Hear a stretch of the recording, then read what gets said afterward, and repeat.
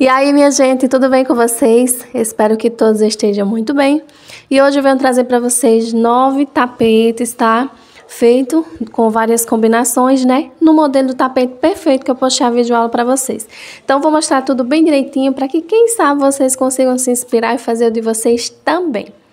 Então, minha gente, eu vou começar mostrando para vocês esse daqui, que eu me apaixonei por ele. Foi uma das combinações que eu mais gostei, né? Que eu utilizei amarelo bebê o mostarda, o havana e o café, né, e o cru no início.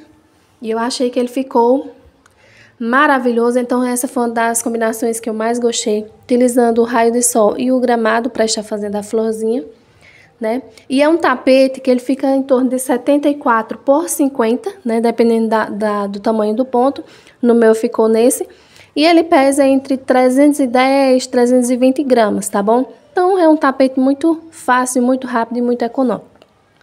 Aqui, ó, essa parte aqui, ó, é bem fácil, né? Do jeito que eu começo aumentando aqui, eu finalizo. E aqui são assim carreiras, né, que cada uma é feita de uma forma, mas que é muito fácil também.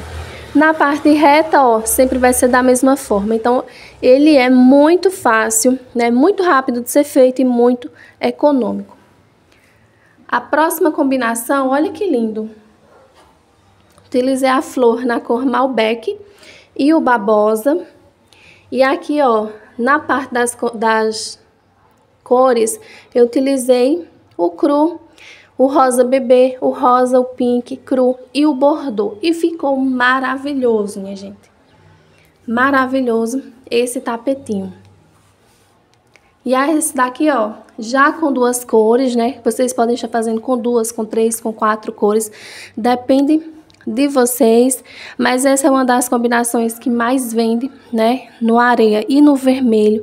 Também fiz no castanho e no vermelho, vou colocar aqui a foto para vocês, né? Que foi fazer e vender. A cliente chegou e viu e comprou rapidinho. Então, quando eu começar a disponibilizar para venda mesmo, rapidinho vende, porque são cores que as clientes gostam muito, né? O vermelho com o cru, com o areia, com o café ou com combinações então, são cores bem pedidas e daqui para o final do ano, né, são cores que vão ser mais procuradas pelas clientes. Então, esse daqui, vermelho e areia. Olha esse daqui.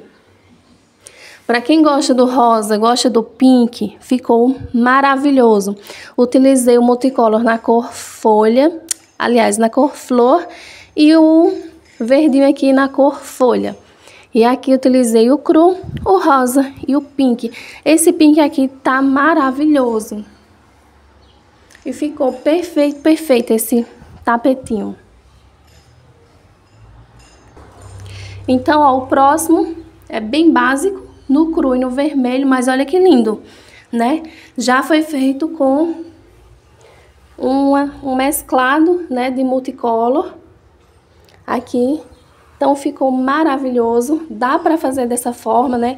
Aqui eu utilizei a flor rasteira para estar fazendo, porque tem clientes que não gostam muito, né, dessa flor que se destaca assim, ó. Às vezes é uma casa que tem mais idosos, né? E aí elas preferem mais uma flor rasteira como essa daqui. E ficou maravilhoso. Então, minha gente, dá para ser feito com lindas combinações, como com duas cores.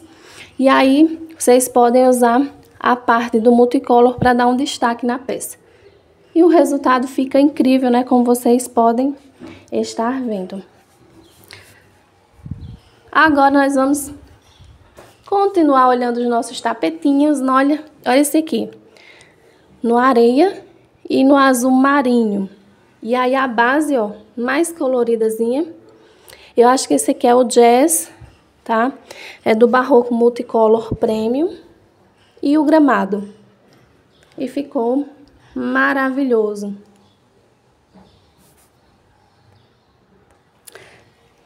E o próximo é com esse degradê que ficou lindo.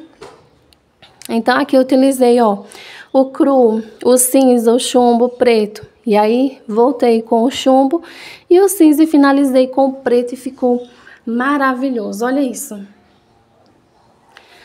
A base eu fiz, né? Com esse preto metalizado. ficou lindo. E o babosa, flor rasteira, né, ó, só com a pérolazinha. E ficou muito lindo. Próximo tapetinho, olha esse. Né? Tem muita gente que gosta do, desses, dessas cores, né? Esse aqui foi a cor castanha. Então, utilizei o cru, o areia, a cor castanha, o café e aí voltei utilizando as mesmas cores. E para dar um realce a mais na peça, né? Utilizei a parte da base com essa flor na cor cabaré, é o vermelho cabaré e o verde babosa. E ficou muito lindo, olha.